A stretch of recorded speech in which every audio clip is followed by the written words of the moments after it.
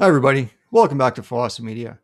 So today I decided to make this quick video to announce that the Fossman Media website is finally live and ready to go. In future videos, I will be uh, referencing this website quite often to copy and paste code snippets and stuff like that. As most of my videos do involve code, and copy and pasting it inside the comment section of the video uh, doesn't always work out well. I find the indentation often gets messed up, which is a main concern for Python and I don't think YouTube is too crazy about the idea either. Uh, due to, to the uh, fears of code injection, I guess, inside of their input fields, which is completely understandable. But on a website like you're seeing right now, I can add escape characters and pretty much do whatever I want to get things to look the way we need when we're going through the tutorial and we need to copy and paste code. Uh, maybe I'll just show you a quick example of that now. So if I just go to the networking page and scroll down here a bit, uh, actually, maybe I'll just go to reverse proxies. Uh, there's some information here on Nginx, which was requested by a viewer of this channel on a previous video. And thank you for the suggestion. Um, there's some information here on how to get an application up and running on a server.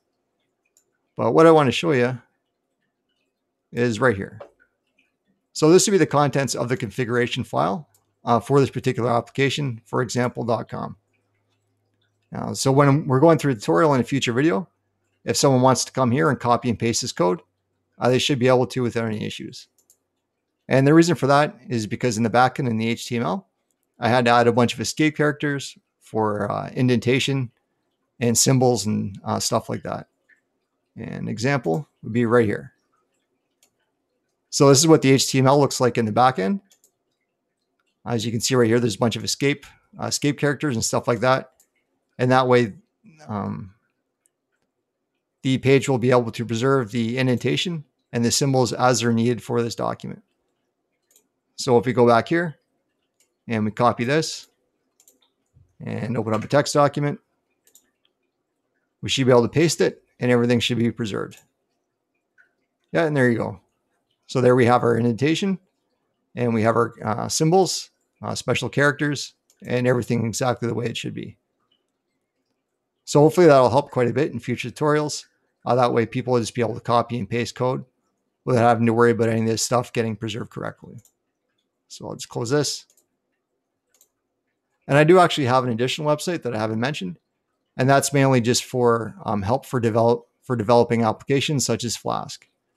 And that website would be right here. And that's called pagesprouts.com. And this just mainly deals with development stuff. So I got Fossman Media here that will deal mainly with getting started with Linux and also includes a bunch of networking tools. Um, that'll help you do pretty much whatever you need to do with your network. And then PageSprout just deals with development. So when we're doing a tutorial, say on Flask, which I'm really thinking seriously about doing uh, fairly soon, if we go to development, there's a, a bit of a roadmap here of everything you, you would need to do to create that application. And I think in, in those future tutorials, uh, what I'll do is I'll just go through each one of these steps one by one. And if you're following along, you can just copy and paste the code as you go without having to worry about anything getting too, too uh, messed up by special characters and stuff like that that can't be displayed properly. And maybe I'll show you a quick example here. So let's say if I go to main.py, this is the main Python file that actually runs the application that you're seeing right now. And down here, we have the section where the uh, where the uh, where this file actually starts the application. And right here, indentation is extremely important as it defines the uh, the block of code or defines the uh, the block of code for that function. So if any, any of this indentation gets messed up, it just won't read properly and uh, things will go bad really quick. And here's what that code looks like on the back end. So there's the HTML right there for that. And as you can see, I added a bunch of escape char- characters and stuff like that, which would be a nightmare to do in something like a, uh, a YouTube uh, comment section. No fun at all. So yeah, hopefully this will make this process much easier. And maybe just as another example, actually, I think you'll find this kind of funny. If you go back to examples and go to HTML documents, and let's see here, we'll just go to contact and then scroll down to the contact section or the contact form rather. So if someone wanted to create a contact form on their own project, they could just copy and paste this text text exactly as it is, and everything should work out just fine. Uh, but what this actually looks like on the back end is this big giant mess right here. So obviously not doable in a YouTube comment section. But if someone tries to copy this as is, it should uh, it should copy without any problems. So maybe I'll try to do that right now. A text document, paste it in. Yeah, and there's all the indentation preserved. Uh, so anyone should be able to run this uh, just fine. Um, even though white space isn't really required in HTML, um, so the indentation doesn't matter, but it's certainly nice for the developer making the application if they need to come back and edit it later.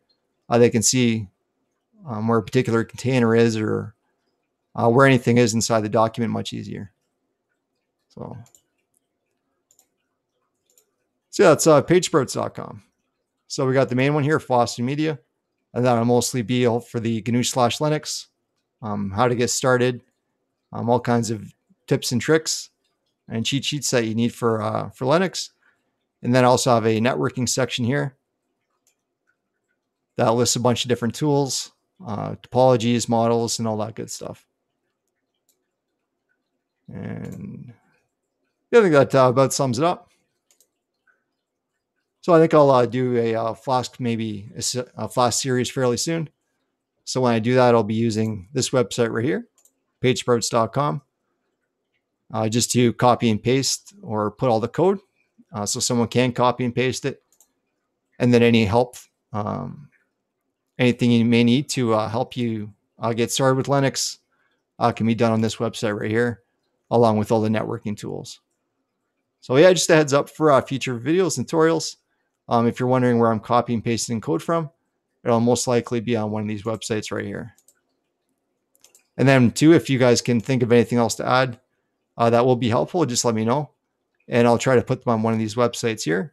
So that way, when we're going through it in future tutorials, um, hopefully everything will go much smoother and we won't have to worry about indentation and all that stuff um, when you're copying and pasting files in your own project. But uh, yeah, I think that for today, that pretty much wraps up. Uh, thank you guys for watching the video and hope to see you again soon on the next one.